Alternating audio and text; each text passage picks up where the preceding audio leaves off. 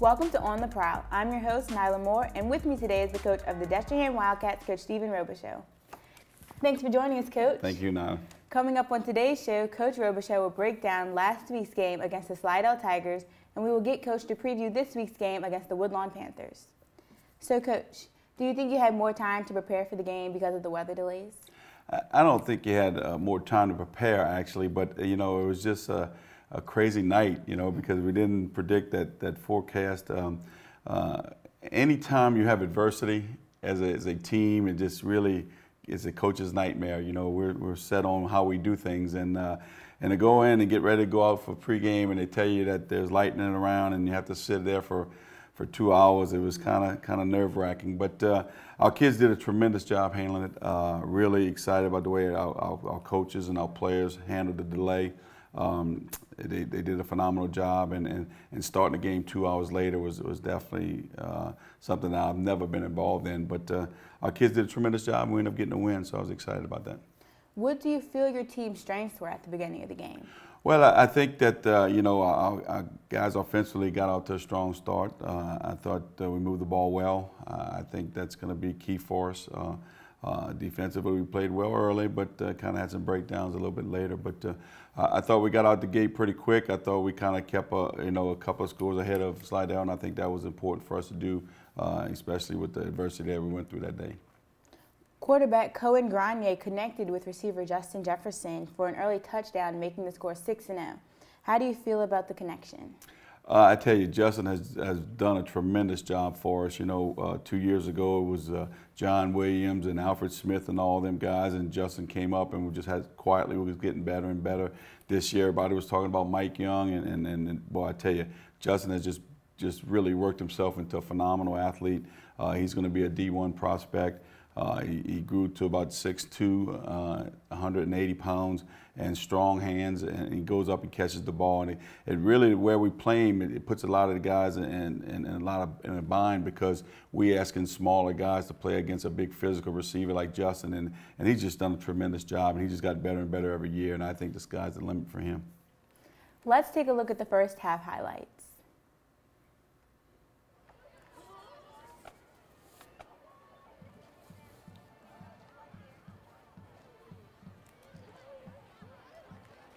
Big sack here by Jay Stroud. He's Jace is just really tremendous rushing the passer. Did a good job. Here we're getting good pressure again. Good, good hustle by number 21, Champ Craven from his free safety spot.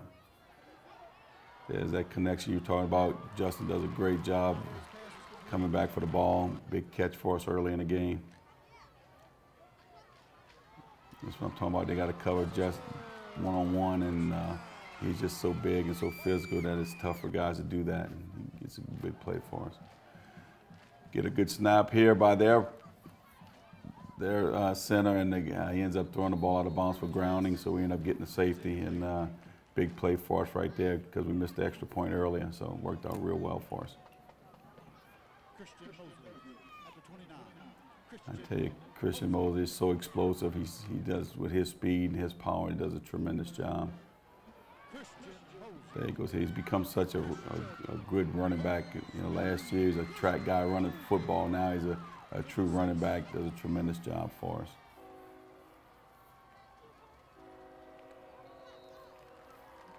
Bradley Quinn coming out, connected, couldn't score. He comes up, makes a good field goal for us, puts us up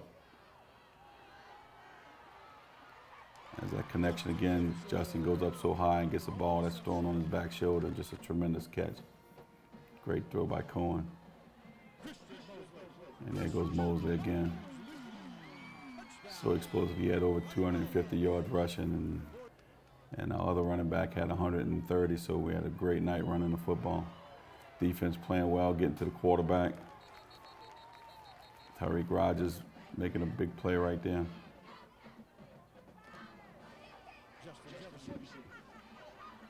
Justin again, it's just hard to cover because of his frame.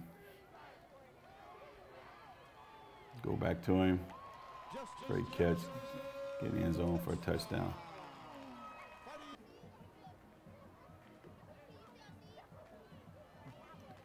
Great job by Jay Stroud. Just does a tremendous job for an undersized D lineman. I tell you, just a great football player for us. Here's a guy you're going to hear a lot about, John Emery, sophomore, just smooth as can be, just going to be a great player for us. D lineman getting to the ball, Jabril Fields, Karan Webb making a big sack right here, right before half.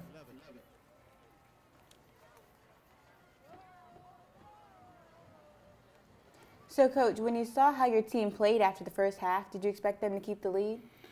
Well, you hope so. I mean, I thought we played well. Uh, you know, last year uh, we were kind of concerned because last year Slidell came back. We were up by 28 at uh, half or a little bit after half last year, and they came back and, and, made it a pretty close game. I think it ended up 33 to 26, 28.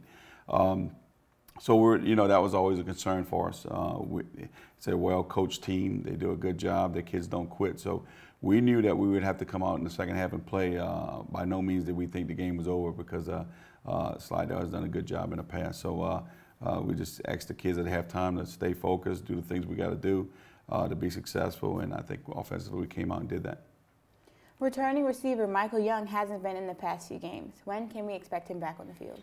Mike hurt his thumb last uh, last summer at LSU, and uh, he was getting cleared from that, and uh, he was going through a routine X-ray, and they found a he had a little pain in his wrist, and he ended up having to have surgery on it. So uh, we thinking that uh, we could get him back in the next couple of weeks. Uh, you know, we don't want to push it. Obviously, Mike's a big time receiver, and we never want to push any of our kids to come back before they're ready. But uh, you know, we expect him maybe in the next couple of weeks to be ready to play, and uh, he's he's chomping at the bits because he's a he's a great player and he's a, one of our great leaders. So uh, we're kind of excited about the possibility of getting him back in the lineup.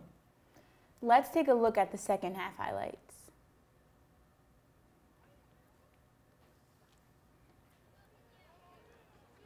It's John Emery again. John Emery.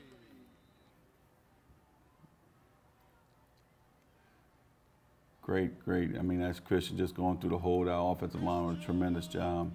Christian with an 80 yard run.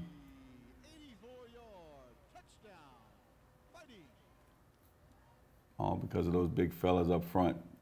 Dakota Torbert, Jacob Rouser, Chase Camino, Sam Matthews, Elijah Hayes all do a tremendous job up front and giving them time to run, I mean, throw the ball and making holes for running back what a great run here by a little sophomore. I mean, geez, and that's just incredible determination, and he continued to get better every every day, every week. He's going to be a great player for us. Phenomenal run here by by Mosley. He runs that misdirection play so well. It's kind of hard to be to bring him down, and just just relentless, is getting into the end zone. Jay Stroud again, he's just so tough to block.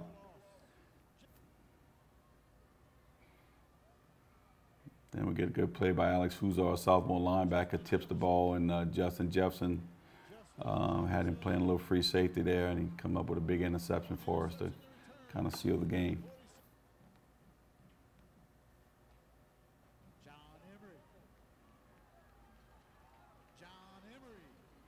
It's John Emery again.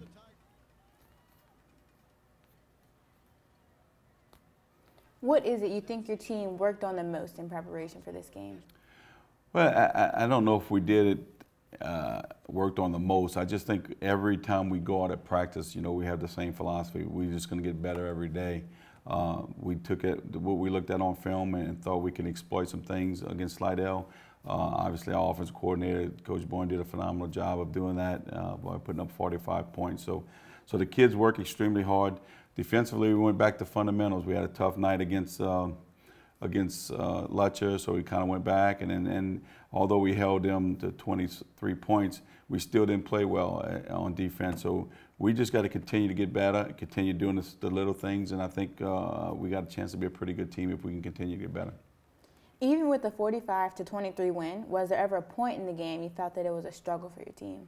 I, I think it was, a, you know, it wasn't, you know, to the late third quarter before it was actually out of hand. So I thought, uh, you know, uh, uh, we had to be prepared to, to continue to stay in the game, remain focused, and I th- thought our kids did that. You know, we did get a little bit of a bigger league, but our kids continue to play well, and, and that's all you can ask from them. How do you feel about winning the first game going into the season? Well, it's better than the alternative, I guess. But uh, we're, we're excited to be 1 and 0. Uh, but, you know, as, as a, a coach, you, you're always looking at how we can be better. And, uh, you know, you're coaching uh, the kids and, uh, and uh, love this group. I think they're a good group of kids. But, you know, we just got to get better and better every week. And hopefully we can win a few games. Thanks, Coach. Coming up, we'll get Coach to look ahead at this week's game against the Woodlawn Panthers. We'll be right back.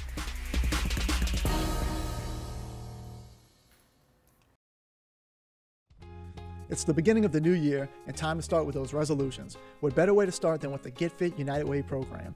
In this program, participants go through 12 weeks of training and eating healthier. But what really goes on during that time?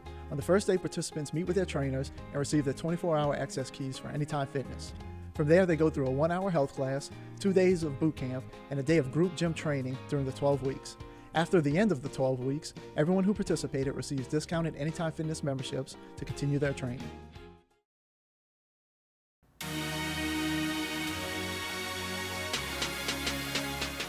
Welcome back to On the Prowl. I'm your host, Nyla Moore. What are some of your thoughts about Woodlawn's team as well as their defense? They, you know, offensively, they have a really good uh, scheme. Uh, they do a good job uh, coaching them. Coach Daniel Luquette used to be at Destrehan, so we know he's going to be real, real prepared. Prepared. His kids are going to be real, real prepared, and uh, we got to make sure that we're doing things to, to make sure that we sound on defense to be able to stop them.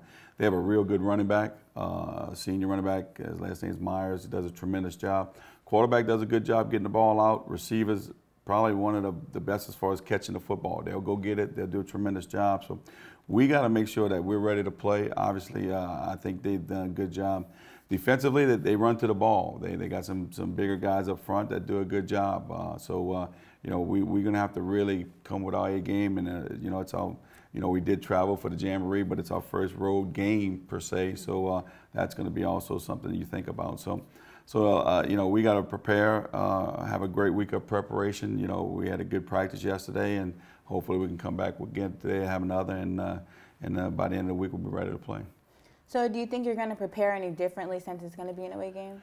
I, don't think so. You know, uh, we, we, go out every every day to, to get better, and, and uh, you know we just prepare for, for that team. But uh, as far as what we do, we're not going to do anything differently. Uh, it's been working for us, so we're going to continue to do that. Uh, you're just going to do is stressing more fundamentals early in the year, and and, uh, and kind of worry about getting getting our kids better, and then take and go from there. Always a pleasure talking to you, Coach. Thank you, I appreciate it. And that will do it for this edition of On the Prowl. For updates on Press Play Productions, make sure to check out our website at presstoplay.tv. I'm your host, Nyla Moore. Thanks for watching.